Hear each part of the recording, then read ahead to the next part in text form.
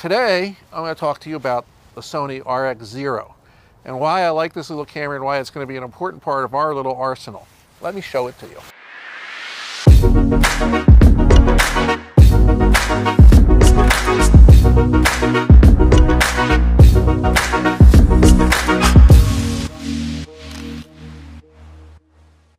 Kevin Raber here with the Luminous Landscape, sitting by the canal on a balmy December day in Indianapolis. I'm having fun. I'm out here with Michael, our new team member for Luminous Landscape, and wanted to talk to you about a new camera that Sony put out.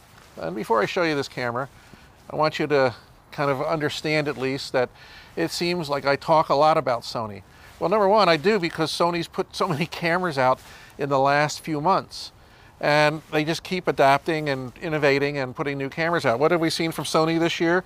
We've seen the A9, the A7R3, the RX0, the RX10, and of course, you know, I'm a, a Sony user. I have all Sony lenses. Uh, I do most of our videos uh, with either the Sony and or Panasonics. We're shooting this one on the A7R Mark III. But today, I'm going to talk to you about the Sony RX0. That is a camera. It's a one inch, 21 megapixel camera. It's got a one inch sensor stacked, 24 millimeter equivalent lens, sound input in the front, and it really is simple to operate, a lot of fun.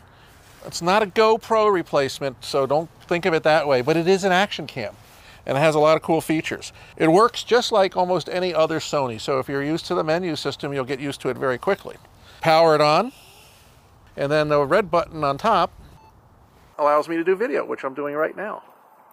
So does a great job on the video, and we'll see somebody running back there, and you can see the video setup we want. But the menu system is something that's really very nice. I'm to get this out of the way real quick. The screen is too small. And for my poor eyes, it's very hard to adjust the screen because what Sony's done is ported over the menu system from their other cameras, or at least uh, portions of the menu system, and thus it's not big type. You almost have to really work at seeing it. And out here in bright light, it's not like uh, the GoPro. In the GoPro, you can look at the back of the screen and you can actually see the image. Here you have a very hard time in bright light seeing the image. I'd have to really, really work at it. Uh, that is a downer. Now this camera also does still pictures, which is what I primarily use it for. Actually now it's become my pocket camera. I can stick it in my pocket, take it to restaurants, take it to wherever I want, and uh, take some great still shots. If I want, I can throw it on a little tripod like this and shoot pictures. I can sit it in front of me, adjust it, I can close it up, hold it at my arm's length, and I can do videos. And I can just turn it around and do some more. It has some really good slow motion capability also. Uh, you'll read the specs in the uh, review below, but it has a capability with very high frame rates, so giving you some incredible slow motion. It is a 1080 recording resolution. It's not 4K. However, if you put an external monitor onto this, you can record 4K out of the HDMI output. So uh, they sell a cage and you can put the cage on here and then put a 4K monitor up top that has capability of recording 4K and essentially record 4K, but at that point, why do it, okay? Because there are other solutions, as you know, that you can work with uh, to shoot that kind of stuff. We're going to be using this camera a lot in uh, some of our recordings and I'm going to be giving this camera to Michael after this short video and he's going to be doing a number of videos with it. He'll try it out for some of the slow motion capabilities and uh, some of the action capabilities. And so that he can actually do that, uh, got a couple little things for him that he can play with.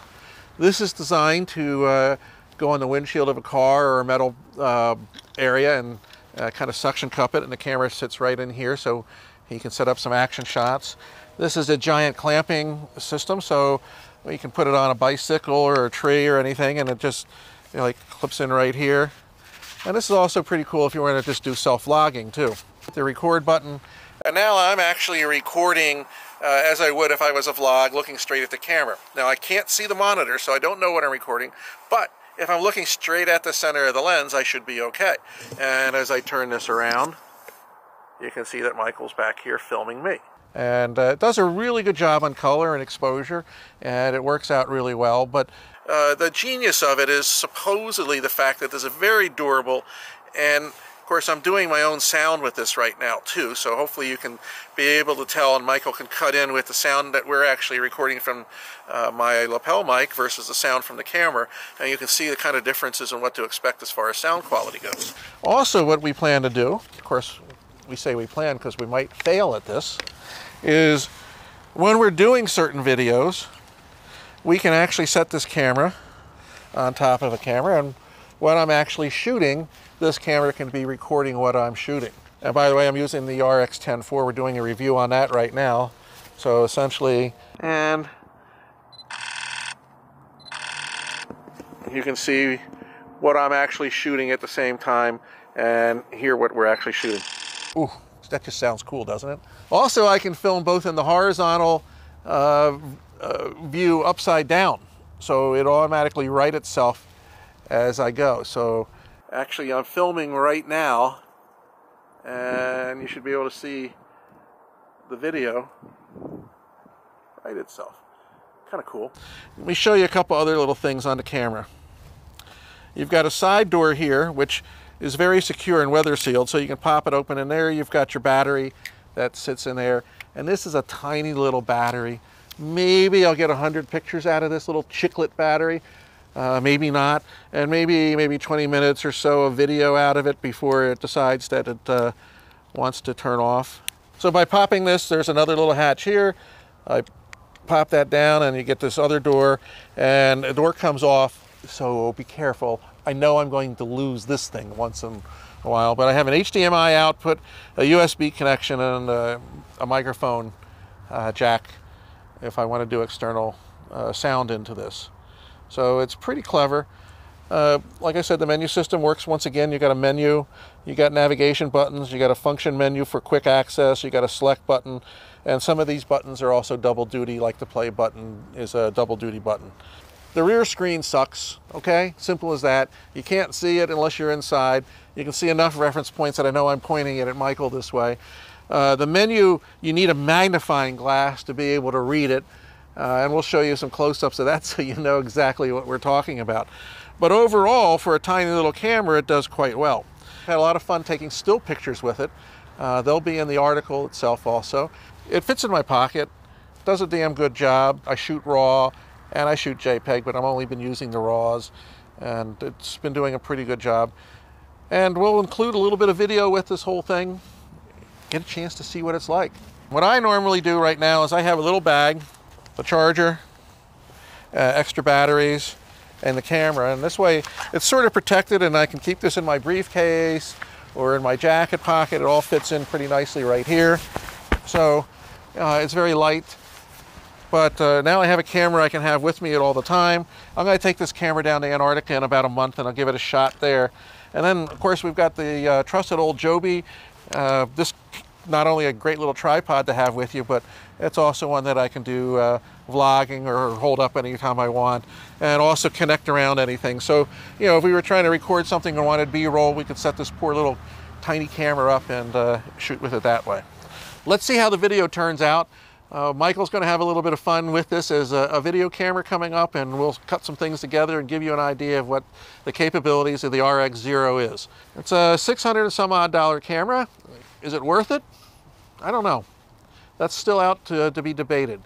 Um, it's a great camera to use, but there's no viewfinder, and like I said, the screen's pretty small, pretty hard to see in bright light.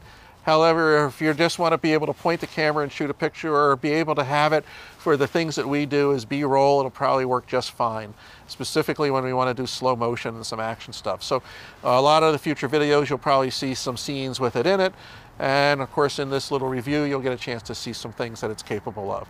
Anyway, once again, Sony's doing it, doing it right, and uh, they just keep coming out with stuff. So stay tuned. We'll have more Sony gear to look at and some other cool gear to look at. And uh, appreciate you stopping by. I'll see you on the Luminous Landscape. I can't believe I have a selfie stick now.